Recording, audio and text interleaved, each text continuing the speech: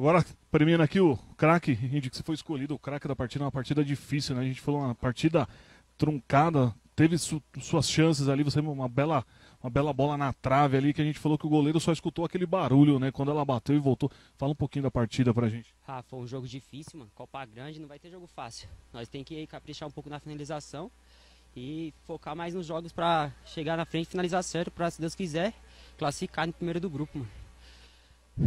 Essa é aquela partida que você sai com aquele, aquele amargo, né? Sabe que podia ter sido mais, acaba levando um, um empate aí com aquele gostinho mais amargo, né? Sim, o time dos caras também veio determinado aí jogar.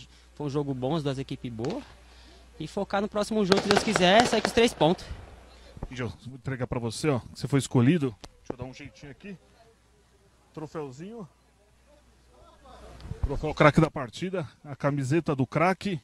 E aqui, não sei se você bebe, mas tá sendo premiado aqui com uma caixinha da cerveja Aretz Beer, que é a cerveja da Várzea agora. Parabéns pela partida, parabéns ali por aquele lance ali que a gente ficou falando. O goleiro vai escutar esse zumbido hoje o dia inteiro, né? Foi, foi um belo chute. Pena que a bola não entrou, né, mano? Às vezes não tem sorte, mas se Deus quiser, vamos pra cima. Parabéns, Índio. Vai lá descansar. Parabéns, viu? Valeu.